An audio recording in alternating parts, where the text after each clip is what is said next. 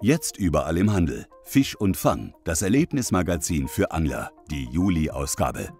Und das sehen Sie unter anderem auf der beiliegenden DVD. Matze und die Nudeln.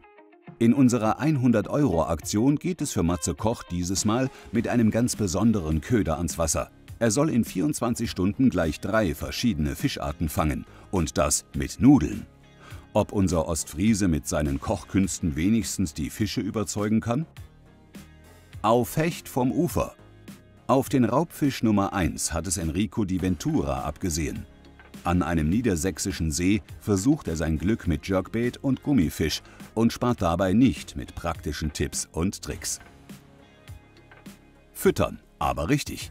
Markus Lotz und Thomas Kalweit sind begeisterte Friedfischangler und erklären auf der DVD, wann sich welche Futterstrategie auf Karpfen lohnt. Tolle Unterwasseraufnahmen und natürlich jede Menge Know-how erwarten Sie in diesem Film. Fisch und Fang, das Erlebnismagazin für Angler, die Juli-Ausgabe. Jetzt überall im Handel und natürlich wie immer mit Gratis-DVD.